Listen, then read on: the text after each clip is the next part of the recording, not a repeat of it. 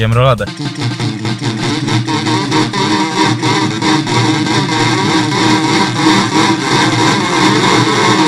Witam w kolejnym odcinku deserowego czerwca 2023. Serowy czerwiec! Woo!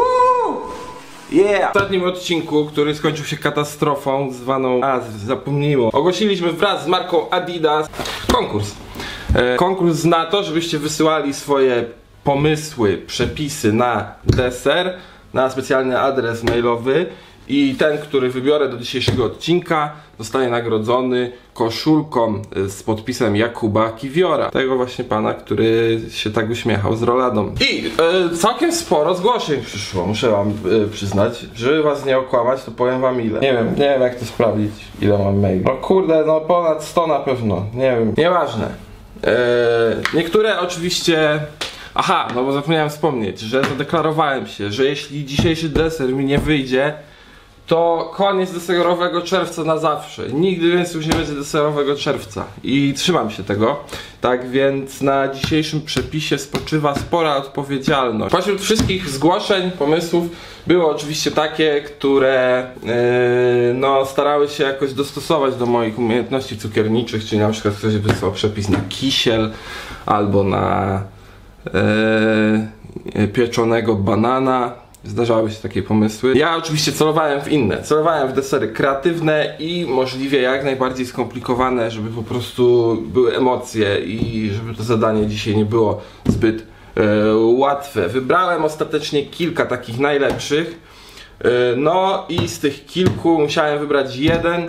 Nie będę ukrywał, kierowałem się tym, e, że spośród tych kilku, które moim zdaniem były na takim samym poziomie i ciężko byłoby mi wyłonić jednego zwycięzcę, jeden z autorów jest wielkim fanem Arsenalu, wysłał mi zdjęcie swoich koszulek i uznałem, że jeśli mam wybierać spośród tych przepisów, które moim zdaniem są na równi, no to po prostu wybiorę ten, któremu nagroda sprawi największą y, radość prawdopodobnie. Mam nadzieję, że nie będziecie mieli mi za złe. Dziękuję oczywiście za wszystkie y, przepisy. Y, I chciałem jeszcze powiedzieć, że całkiem możliwe, że w przyszłości, nie wiem czy w tym roku jeszcze, ale całkiem możliwe, że w przyszłości wybiorę jeszcze którąś z tych propozycji, którą dostałem, y, żeby ją odtworzyć, bo kilka jest naprawdę y, ciekawych i wtedy już poza konkursowo po prostu nagrodzę y, we własnym zakresie autora, czy też autorkę takiego przepisu, tak? Więc bądźcie baczni,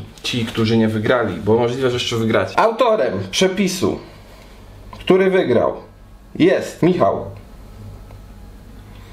Michał, co se ciasto do buzi wpychał. Michał jest z Poznania. Może mam, yy, napiszę więcej, co napisał. Cześć Mieciu, mam na imię Michał, mieszkam w Poznaniu, mam ogromną przyjemność podzielić się z Tobą pracą na mój wymarzony konkurs, który nie wierzyłem, że może kiedyś powstać. Robieniem deserów i ciast pasjonuję się od jakichś 6 lat i oglądając Twoje filmy, czasem mam wrażenie, że oglądam swoje popisy z perspektywy osoby trzeciej. Do tego stopnia, że po Twoim filmie z Beef Wellingtonem sam chciałem spróbować podobnego formatu na YouTubie, ale nigdy nie zabrałem sobie w sobie tyle odwagi, żeby spróbować. Michał, yy, spróbuj, nic nie szkodzi. Prywatnie jestem również już ponad 10 lat wiernym kibicem Arsenalu, z którym przeżyłem już wiele i z którym jestem bardzo związany na co dzień. Yy, Kibice Arsenalu to są kibice, którzy szczególnie w ostatnich latach są przez los traktowani dość brutalnie. Tak więc Michale łączę się z Tobą.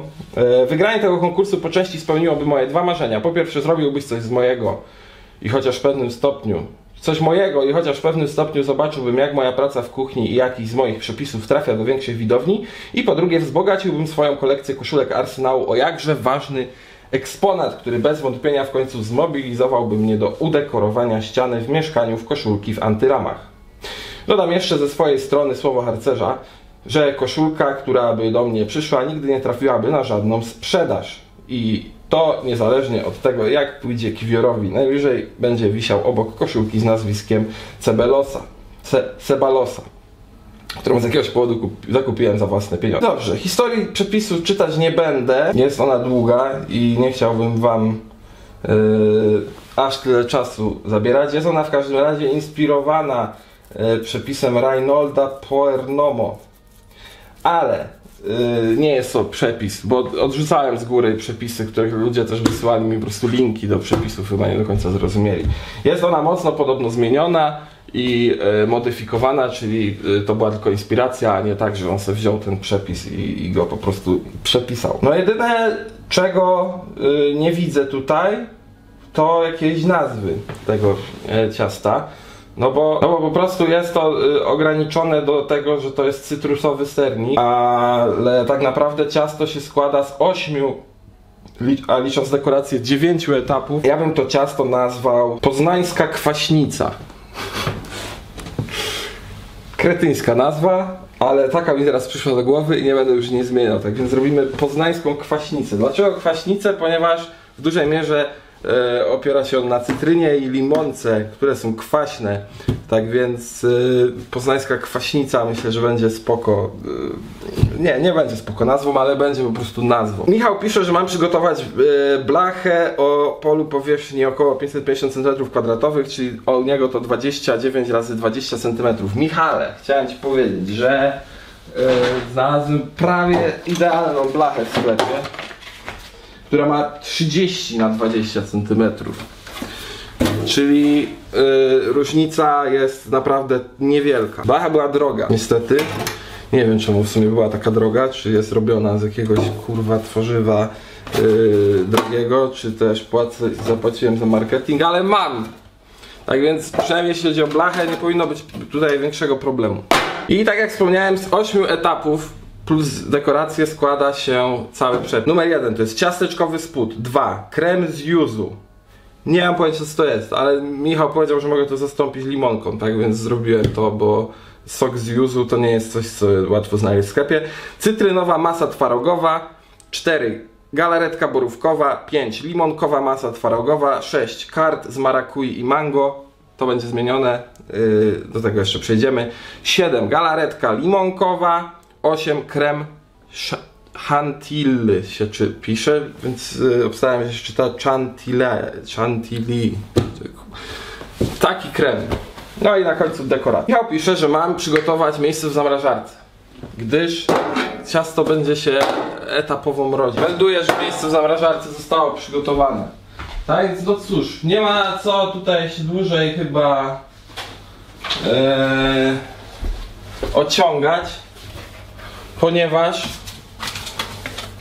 Czekajcie, może tak jakoś Kubę postawimy, żeby nam tu dodamy. Będzie patrzył Kuba na mnie. Ponieważ szkoda czasu. Tak więc bierzemy się za krok pierwszy. Ciasteczkowy spód. Pierwszy krok wydaje się być dość łatwy, taki chyba na zachętę. Ciasteczkowy spód. Mamy użyć 150 gramów herbatników. Kupiłem takie jak autor podpisu polecił i mam tutaj dokładnie 150 gramów. To jest 100, a to jest 50. Oraz 50 gramów masła. Będę dość dokładny jeśli chodzi o odmierzanie y, wszystkiego. Żeby w razie niepowodzenia Michał nie mógł powiedzieć, że no coś tam, mówiłem, że ma być tyle, a ty dałeś tyle. Tak więc 50 gramów masła.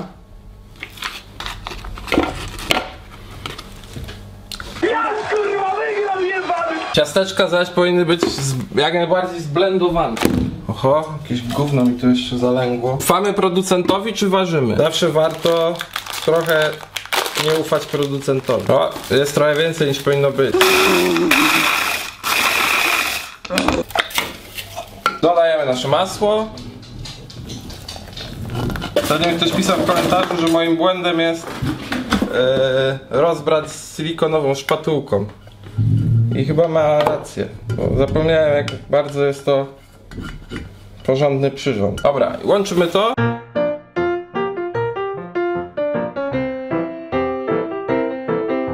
I teraz mamy naszą formę papierem wyłożyć.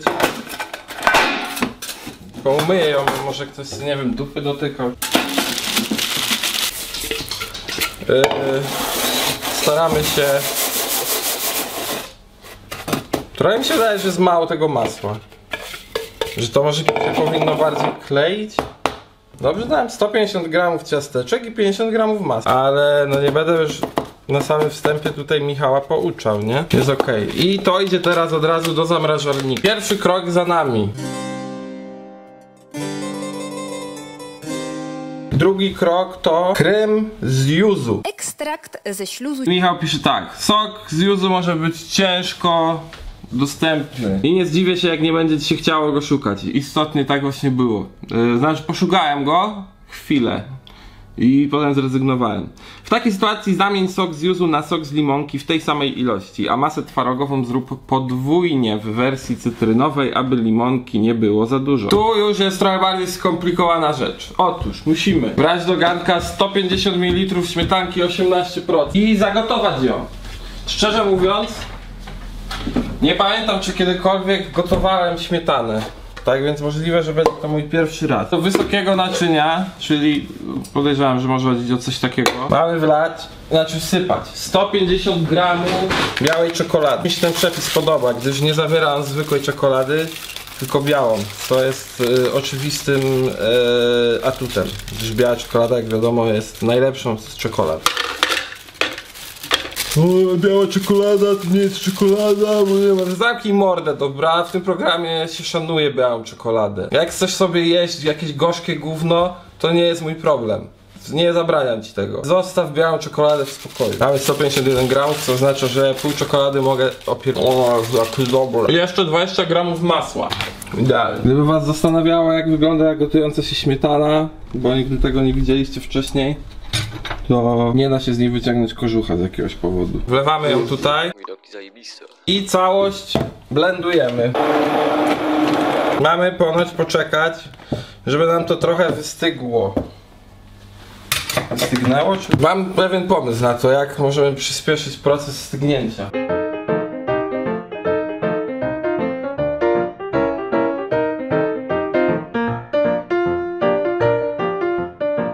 Chyba będzie git. Dobrze, w momencie kiedy nasz spód jest już zbity i twardy, taki miał być i taki jest, jak widzicie już się nie rusza, to wlewamy to na ciasteczka.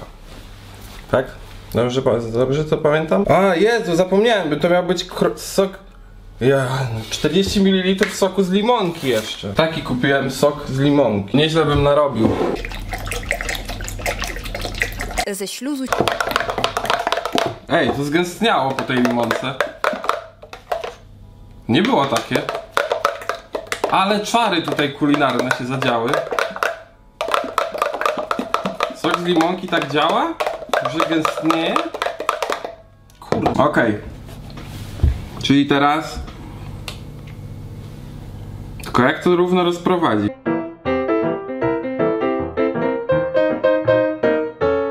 Pewnie będziecie się ze mnie śmiać teraz, że to podstawowa wiedza. Ale ja naprawdę o tym nie wiedziałem. A co to jest w ogóle yuzu? Muszę sprawdzić. Znaczy sprawdzałem, ale już nie pamiętam. To jest cytryna. Ona jest żółta i to tyle. Ty dobra, bo tak cały dzień mogę tym machać. Uznajmy, że jest git. Ok? I to idzie teraz ponownie do zamrażarki. Okej, na razie wszystko idzie zgodnie z planem. Dobrze, że się zorientowałem, że ten sok z limonki trzeba dodać, bo bym dość szybko ten deser poskładał. Ale dobrze. Krok trzeci. Masa twarogowa cytrynowa. Najpierw musimy włożyć dwa listki żelatyny do miski z zimną wodą. Odkładamy. Teraz trochę y, większy problem będzie, bo trzeba 140 ml śmietany kremówki ubić na sztywno. Śmietana jest zimna. Mam nadzieję, że dziś nie zostanę przez tego potwora pokonany, no ale jest zimna, więc nie powinienem. Ile? 140 ml. Jakby coś mam jeszcze zapas. A nie, bo ona będzie później potrzebna.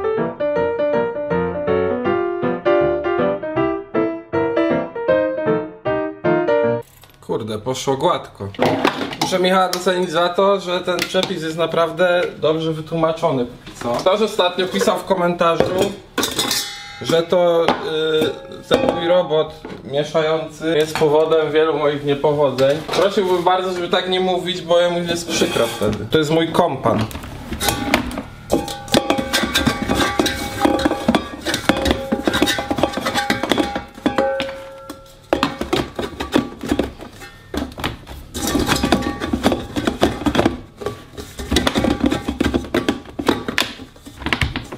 Tutaj wkładamy 230 gramów mielonego twarogu. Kupiłem taki sernikowy, no to chyba chyba o to chodzi. I 60 gramów cukru drobnego. Ludzie, opanujcie się, nie posypujcie cukru cukrem brykietu. No, no, no, no. Bo cukier już coraz droższy. Przekładamy i mamy to ucierać, aż twaróg z cukrem się połączy. Jednocześnie 40 ml soku z cytryny i to się ma ze sobą połączyć. Przekładamy do garnka w celu podgrzania. Ma to zostać podgrzane ponoć dlatego, że w zimnej masie nam się nie rozpuści żelatyna, więc masa musi być ciepła. Tak twierdzi nasz autor przepisu. Dobra, jest gorące, więc bierzemy naszą żelatynę, y, z której trzeba odcisnąć nadmiar wody. Pierdalamy ją tu i mieszamy. Ja ci pokażę, jak się kurwa miesza. Przepraszam, jeśli odcinek jest troszkę dziś za poważny, ale zależy mi na tym, żeby wyszło. Bo jednak nie chcę kończyć już na zawsze deserowego czerwca, plus chciałbym, żeby Michał przed wami dobrze wypadł. Michał się bardzo postarał i muszę przyznać, że póki co ten jego przepis jest mocno spójny.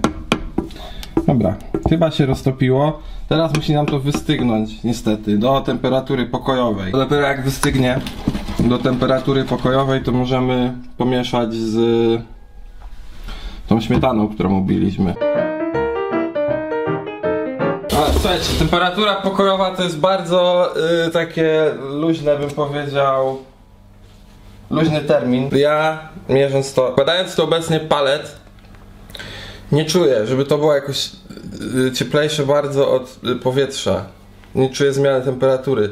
Czyli powiedziałbym, że możliwe, że to już jest temperatura pokojowa. Myślę więc, że spokojnie mogę teraz przełożyć tu ubitą śmietanę. Okay, mieszamy. Czy wkurza was problem mieszania? Możemy teraz wylać to na warstwę poprzednią. I znowu do zamrażarki. I mamy już gotowe trzy kroki. Kurde, chyba nie włączyłem nagrywania, ale nic za wiele się nie działo. Borówkowa galaretka to krok czwarty. Cztery listki żelatyny tu się moczą w zimnej wodzie i odmierzyłem sobie 150 gramów borówek amerykańskich, które umyłem. I je teraz będziemy blendować na borówczane puree. Borówka amerykańska. Czego chcieć więcej? Przekładamy do garnka i dodajemy 30 gramów cukru drobnego oraz 90 ml wody. I teraz na małym albo średnim ogniu mamy to podgrzewać, aż nam się cukier rozpuści. Wybieram ogień średni, gdyż z natury raczej nie jestem zbyt cierpliwy. I jak nasza mikstura już jest znowu gorąca, to ten. Czy znowu? Ona jeszcze nie była gorąca, poprzednia była. Wiecie o co mi chodzi. Znowu bierzemy tą żelatynę, damy z wody, tyle ile się da. Ja tego bardzo nie umiem robić, bo jak ją chcę wycisnąć, to ona mi się, o, jak prasa hydrauliczna, moja ręka działa. A dobra, ile się dało, tyle wycisnąłem. Wrzucamy i mieszamy, aż się rozpuści. W dzisiejszym odcinku zaprezentuję Wam, jak mieszać Poznańska kwaśnica, poznańska kwaśnica. Każdy wielkopolanin się nią zachwyca.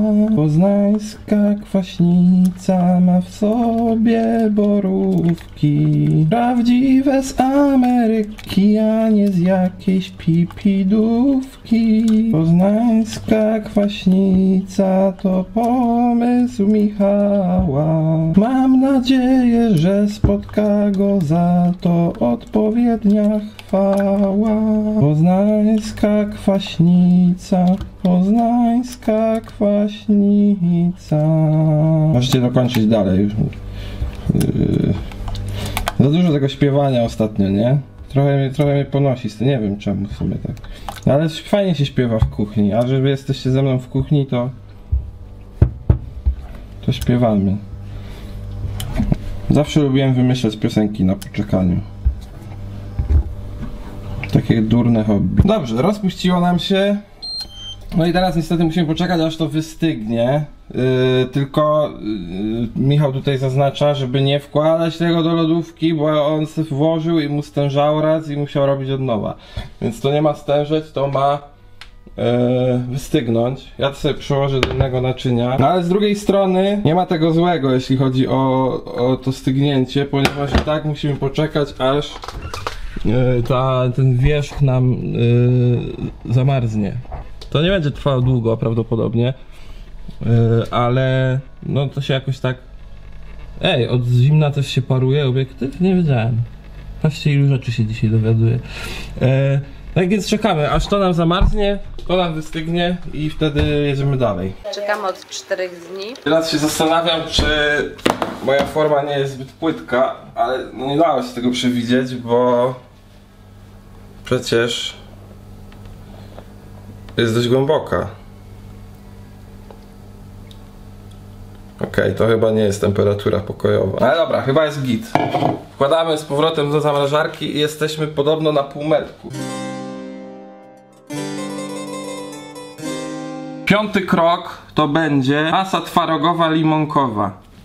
Czyli robimy to samo co z cytrynową, ale zamiast soku i skórki z cytryny dajesz sok z limonki. Aha, i to miałem zamienić tu znowu na cytrynę, jakbym na początku użył limonki zamiast tego jaku czy sraku. Czyli robimy jeszcze raz to samo, co robiliśmy nie tak dawno. Zamknę mordę i załatwię to montażem.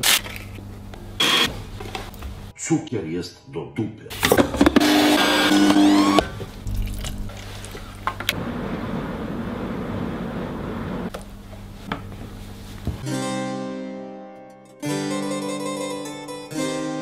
Kurwa. Znowu, po co ja wyłączam tą kamerę? Przecież mogę cały czas ją mieć włączoną. Nie wiem na czym się skończyło. Zrobiłem w każdym razie. O.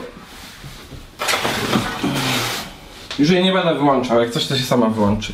Zrobiłem kolejną twarogowo-cytrynową masę i jest ona zamrażarce. I muszę powtórzyć to, co przed chwilą powiedziałem.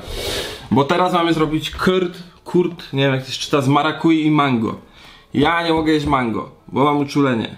Bardzo tego żałuję, bo mango jest przepyszne, ale po prostu wszystko mnie swędzi jak zjem mango. Więc z mango musiałem zrezygnować. Soku z marakui w sklepie nie było, więc musiałem postawić na coś innego. I tak się zastanawiałem na co. Początkowo myślałem, że może ananas, ale przeczytałem, że ananas źle działa z żelatyną. Coś mi świtało, że tak jest i faktycznie tak jest. Więc kupiłem sok z granatu. Eee, wiem, że to w ogóle nie jest w żaden sposób podobne, ale pomyślałem, że może fajnie jak będzie jakiś jeszcze jeden kolor. Plus eee, granat jest spoko. Mam nadzieję, że autor przepisu mnie nie obrazi się na mnie za to. To jest moja lekka modyfikacja. Mam również nadzieję, że jej nie będę żałował. Tu już się moczą dwa listki znowu żelatyny w wodzie, a tu mamy wlać do garnka 110 ml soku 55 gramów masła klarowanego i to mamy doprowadzić do wrzenia. W międzyczasie garnek do kąpieli wodnej mamy przygotować. Ten będzie. I po prostu trochę wody na dole garnka gotujemy. Również w międzyczasie 4 jajka ucieramy z cukrem. 4 jajka i 100 gramów cukru drobnego. Jajka do dziś budzą ogromne kontrowersje. Zdradziecki produkt, który może szybko doprowadzić do problemów. Mogę zrobić tak? To zadziała? Co te skorupki takie słabe? Że? I ucieramy. Co, co to się stanęło?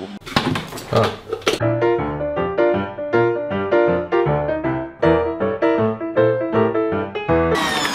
ja to inaczej zrobię. Bo ucieranie to chyba jednak lepiej mikserem mimo wszystko, nie? Kurwa, już wiem czemu ta woda miała być zimna. Rozpuściła mi się ta żelatyna. A mam wyliczone co do jednego płatka. Fuck. A te dwa zepsułem, bo do ciepłej wody wsadziłem. Zrobimy tak, teraz użyję tych dwóch ostatnich, a przy tej ostatniej rzeczy, do której będzie potrzebna żelatyna, to spróbuję użyć tej zwykłej jakoś. Nie wiem jeszcze jak, ale będę się później zastanawiał. Soli wlewamy sok z masłem. Kurwa. Granaty mają. To idzie teraz na naszą kąpiel wodną i na naszej kąpieli wodnej mamy to cały czas mieszać. Ponoć zrobi się konsystencja budyniu. Wygląda to jak sraka. Że to mam miksować, bo jest napisane mieszać, ale nie wiem czy mieszać to znaczy miksować, czy... czy mieszać. Czy się tak ma pienić? Łyżką. Nie chcę to mi zgęstnić coś. Nie jest to na pewno konsystencja budyniu. Wiem, może to ten sok z granata nie pasuje. Nie wiem co się dzieje. Dam temu jeszcze chwilę. Że jednak powinienem to miksować, co? Michał pewnie ogląda i sobie mówi tak, tak, miksować. Albo nie, nie, nie miksować. Coś tam gęstnieje, ale do budyniu temu naprawdę daleko. Dobra, będę miksował. Najwyżej tego pożałuję.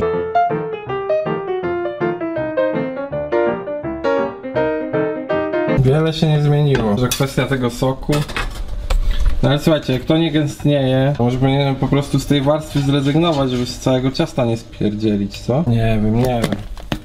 O nie! Moja koszula, bluzo, kurtka. Dobra, jebać. Co ma być, to będzie. Dodaję żelatynę. Na koniec mam to jeszcze ponoć zblendować. Nie wiem za bardzo po co, no ale okej, zrobię to. Czy życie ma jakiekolwiek znaczenie? Jaki jest sens życia? I o co w ogóle pytamy, gdy zadajemy te pytania? Dobra, i to ma teraz do stygnięcia yy, być odłożone. Wtedy zostaną nam jeszcze dwie rzeczy, o ile się nie mylę. Galaretka limonkowa i krem chantilly. Dobra, to niech to stygnie, ja sobie wyjdę z psem w tym czasie.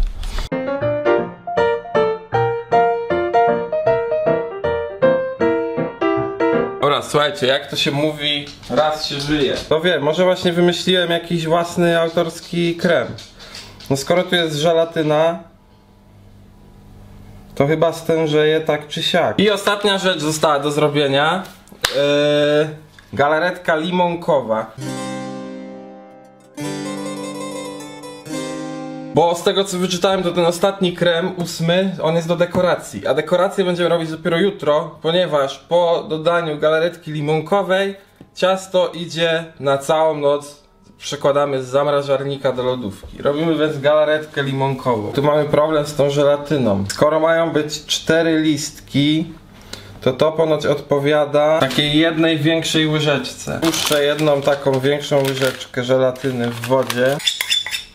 Może to się uda. Galaretkę limonkową mamy robić tak samo jak borówkową. Czyli bierzemy e, soku limonkowego 75 ml. Dobra, chyba mi się ta żelatyna rozpuściła. A tu idzie ten sok limonkowy, 100 ml wody i 50 gramów cukru. I rozpuszczamy cukier. Yy, żelatynę. Przelewam to do jakiejś miski. A, jeszcze się nie rozpuściła, suka, patrzcie. I czekamy aż nam to wystygnie. To będzie jak nam wystygnie, a zamarznie to co mamy w zamrażarce, to będzie ostatni krok na dziś, czyli wlać to tu przedostatnio, potem jeszcze przełożyć zamrażarki do lodówki. Trochę się zmęczyłem, ale możliwe, że było warto. Taka pianka mi się trochę tu zrobiła. Yy, w każdym razie wylewamy. Ups. Wkładam teraz do zamrażarki. Zobacz Jakub, czy jest ok? Jo, to do zamrażarki po raz ostatni. Dobrze, zamrozi się to, przełożę do lodówki i jutro z rana będę działał z ozdabianiem. Zacząłem o godzinie chyba 10. Jest 15.30, tak więc 5,5 godzin to robiłem wszystko. Mam nadzieję, że będzie warto. Do jutra. Okej. Okay. Jest następny dzień, bez oszukiwania. E, Ciasto było całą noc w lodówce. No i ogólnie wszystko wygląda ok. Ta galaretka tutaj na mm, górze stężała. Wszystko spoko, tylko mam jeden... Jedna rzecz mnie niepokoi. Tu mi coś jakby wyciekło. Nie wiem co to jest. Coś jakby... no Coś jakby wyciekło z tego auta. Nie, że się jakoś wylewa czy coś. To jest tylko tu... No widzicie? O! Coś cieknie. No dowiemy się za niedługo. Muszę się w każdym razie zabrać za ten krem. E, ten krem jak to się czyta już, tak jak mówiłem, nie wiem. Jest na szczęście dość łatwy do zrobienia. 100 ml e, kremówki schłodzonej. Do tego 25 gramów cukru. I taka pasta waniliowa. Dałem jej sporo. Bo nie będę tego trzymał. To ubić do, na sztywno.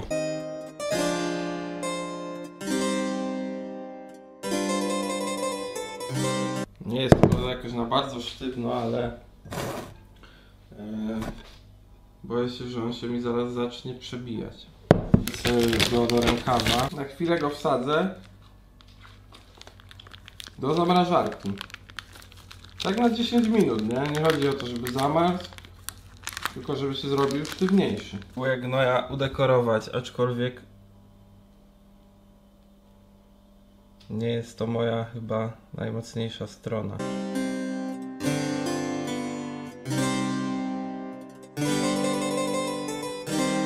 Mam jeszcze porzeczki czerwone. W przepisie było, że może być, że może być dekorowane truskawkami, ale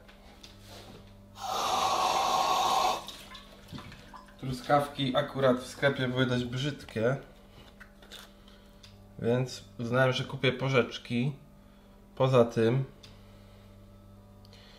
nie wiem czy słyszeliście yy, ale jest ponoć lipa z porzeczkami do tego stopnia, że jakiś z rolników dał takie ogłoszenie przy swojej plantacji porzeczek, że można przyjść i sobie zrywać porzeczki za darmo, i, bo jemu się ich nie opłaca w ogóle sprzedawać. Przykra sprawa. Dobra, myślę, że jak na moje standardy ciasto wygląda naprawdę w porządku. No, mogłoby wyglądać lepiej. Tu dopiero obczaiłem, jak, jak się z tego rękawa wyciska, żeby ładnie wyglądało. Już będę teraz wiedział.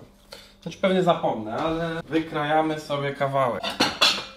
O nie, jeszcze jeden. No ewidentnie ten krem dekoracyjny spartoliłem, jest za mało gęsty. Przekroju, tak. Ciasto wygląda naprawdę fajnie. Zobaczcie. Naprawdę spoko. Moja warstwa zdecydowanie ma najgorszą konsystencję. Może to z niej kapało.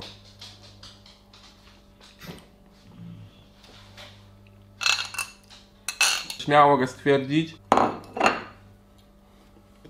deserowy czerwiec został uratowany. Jest pewne niedo- niedociągnięcie, czyli ta moja granatowa warstwa, ale w ogólnym rozrachunku nie mogę powiedzieć, żeby ciasto się nie udało. Jest naprawdę bardzo dobre. Zajmuję sobie punkt za źle zrobiony krem i za tą jedną warstwę, ale ona aż tak nie psuje tego ciasta. Chociaż gdyby była bardziej stała, to to byłoby jeszcze lepiej. Ale naprawdę bardzo spoko sernik na zimno. Polecam przepis Michała. Michała? Chyba Michała. I dziękuję bardzo. E, tak więc to był przedostatni odcinek deserowego czerwca w tym roku. Będzie jeszcze jeden. Dziękuję e, Marce Adidas za miłą współpracę.